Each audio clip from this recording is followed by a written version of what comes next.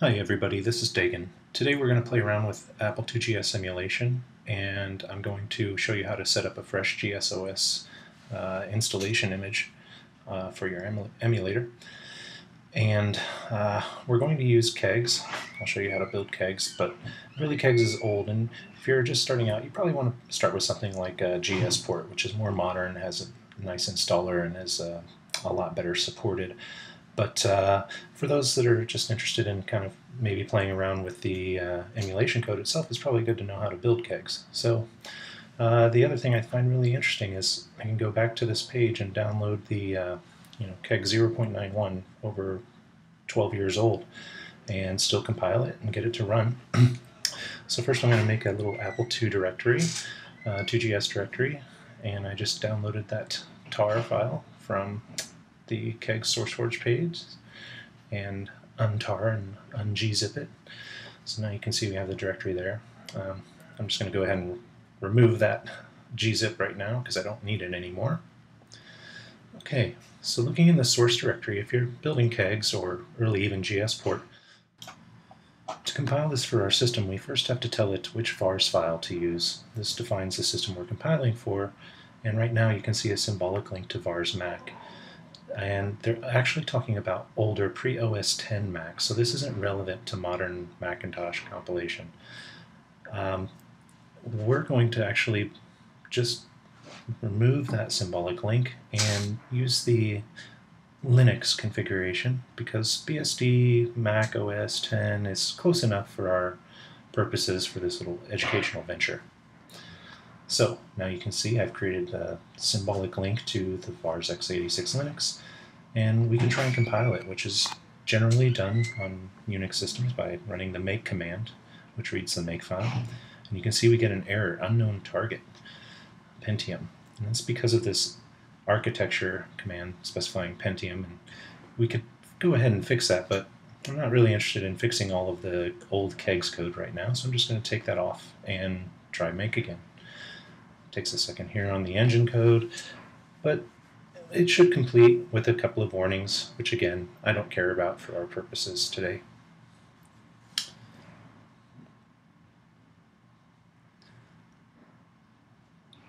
Now that it's finished compiling, if you see the last command, it moves the binary up one directory. So I'm going to go to the parent and move the required configuration file and the uh, xkegs binary now we have our Apple IIgs directory with our emulator, so let's try it. It has to launch the X Windows system, which doesn't come standard on newer releases of OS 10, but you can still download it. It's another reason you should probably consider using GSport. Unfortunately, nothing happens. We just get this row of asterisks. So opening the kegs configuration menu, you can see that we haven't defined what ROM file we're using. And that's basically the uh, the firmware that's on the firmware chip, which isn't distributed with emulators. So I'm going to uh, an FTP site that's fairly commonly known, and I have all these links on the YouTube video. Uh, so I'm going to go ahead and go with uh, the ROM1GS. You can see ROM3GS is a little bit bigger, and that's because it has uh, more of the later tool sets with it, which is actually a great benefit, but um, I'm just going to use ROM1 for right now, no particular reason. If you're ever trying to release code, you definitely want to test for both because uh, there are some big differences there as far as things like mouse handling. So I've unzipped this ROM now that I've downloaded it. And I'm actually going to rename it because I actually like to install ROM 1 and ROM 3 and be able to switch back and forth. So we'll try and launch again and go into the kegs configuration menu, which looks like the Apple IIgs control panel a bit. And it's done using the F4 key on, on uh, Macintosh, and I have to actually use the little function F4 to get in there. So I select my ROM, and now it knows that we're ROM1GS, and I reboot, and lo and behold, we booted fine just to the monitor, and you can do all the things that you would expect to be able to do, list memory locations and whatnot. But now we need something to boot to. So on what is the Apple IIgs, uh, website. They have system software. I'm going to download the System 6.01 release and Go ahead and move that into our little emulator directory here and unzip this. Luckily, these are already in disk image format. You don't have to worry about converting uh, Shrinkit archives over to floppies and somehow extracting those. Again, I'm just getting rid of the zip. Now I need to tell Kegs via the F4 menu again that I want it to put that first disk of the system software in slot 5, disk 1, and we want to boot from there. Uh, it's currently set up to scan, which means it's going to start at slot 7 and move its way down. And for some reason that's having a problem in my emulator, and it's a bit of a pain to go into the control panel, uh, the real GS control panel, which is done using command control escape or on a real Apple, open Apple uh, control escape to set these slots. And right now I have it set up with the slot 7. I would rather just leave that on and I'm just going to go ahead and kind of work around it by manually booting, so I hope that doesn't confuse anybody that I'm directly uh, calling these ports, but this is one way to boot. Slot 5 is C500G. Just be careful that you actually have a disk drive in slot 5 and not some other device that you should not be calling directly like that. So this is the System 6 installer. You can see it uh, shows you which disk it's planning to try and install to. It won't actually let us install to the install drive itself, so we need a disk. We don't have one.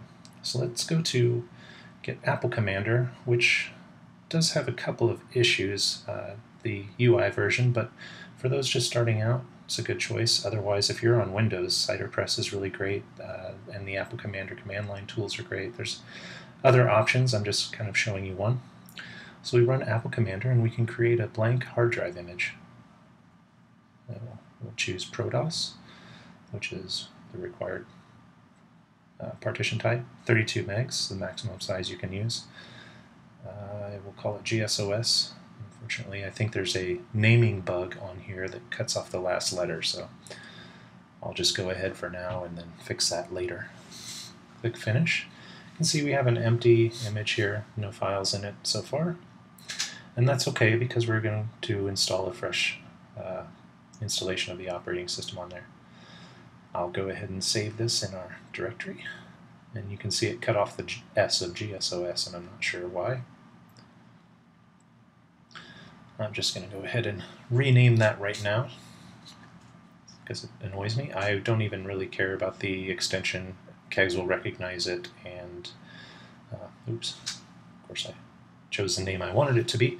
Okay, so we've renamed that let's go ahead and uh, just take a look at this. So you can do this through the F4 menu, or you can just edit the text file directly, the config file.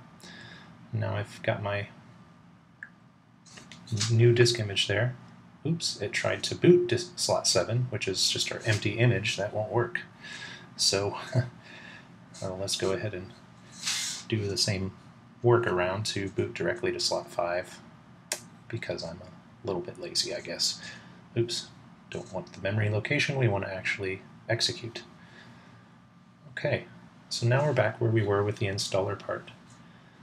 And that would be great, except since my image is empty and uh, there's really nothing on it, I need to format it first.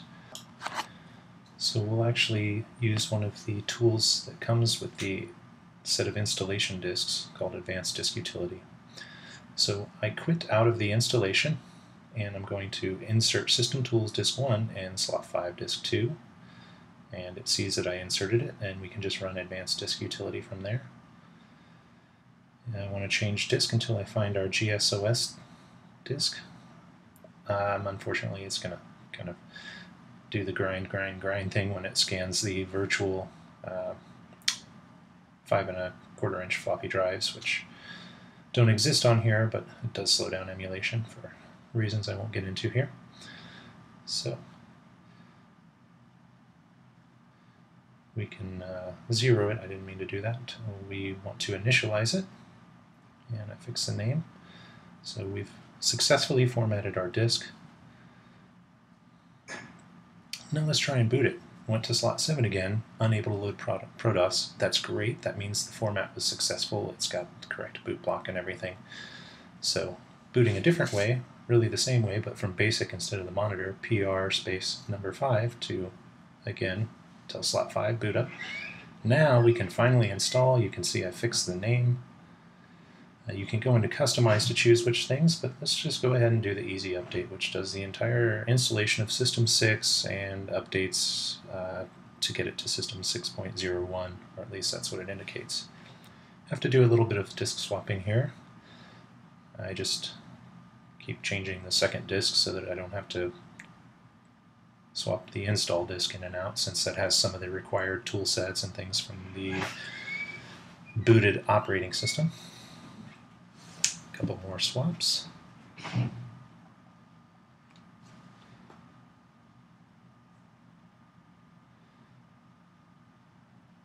Of course, I'm running this emulator at the highest speed that I can. It does slow down when it tries to access certain disk drives, but otherwise this is a really speedy install process for, especially for any of us who remember doing it with all of the real life disk swaps when we were kids. And we're done. I'm actually going to quit out of here. Remember, I booted from the floppy. And we can take a look at that GSOS hard drive image and see that sure enough, it's got basic system and the system folder. There's the finder. We can launch it from there. Great. So everything seems to be installed. The next thing is to make sure that we can boot directly to this drive and that we don't have to boot from our install disk or some other operating system disk, but that it's bootable on its own. So let's verify that. Sure enough, booted right up. I'm going to go ahead and eject these. You can just hit E. It basically puts a pound symbol in front of them to comment them out. If you look at the config file, you can verify that. Or you could just go in the config file and delete those entirely, but Anyway, we now have our Finder image. We need some software. I'm going to go ahead and just do a little virtual shutdown on this. Yay. We can close that. So maybe some games or something. Um, yeah, sure. I think probably the best game that ever came out for the Apple IIgs is called Merlin 16 Plus. It's actually an assembly compiler, and uh, there's no greater feeling than beating the compiler. Best game ever. So I've downloaded that image from the same place we got the system software images. And I'm just moving it into our same directory, being a little bit sloppy, if I could do it correctly. I'll unzip those. You can see it actually has um, a couple of disk images in here. Uh, there's some samples, there's some extra source, there's a lot of ways to learn about Merlin. I won't cover that here. But I all joking about it being a game aside, I think Merlin is a, a great thing for people to start playing with writing software for the Apple IIgs. Where there's two that were are similar here. There's Auto, which is a self-booting image, and Prog, which is not. we'll just use that. We don't need the Auto because we're going to copy it to our own booting drive. So we'll open up Merlin and take a look. Great. Use the select all command there. Oh, let's create a new folder. Apparently I already had one. Just trash this other one.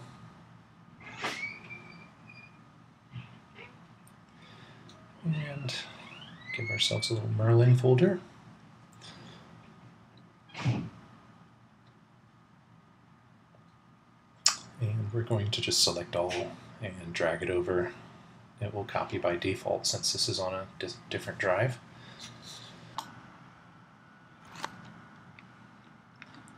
We can go ahead and eject this floppy drive now. We don't need that anymore. I'll go ahead and drag, drag the icon out to our desktop just for convenience sake, and let's try it out just to make sure it runs. And wonderful, now you can start programming your Apple IIgs.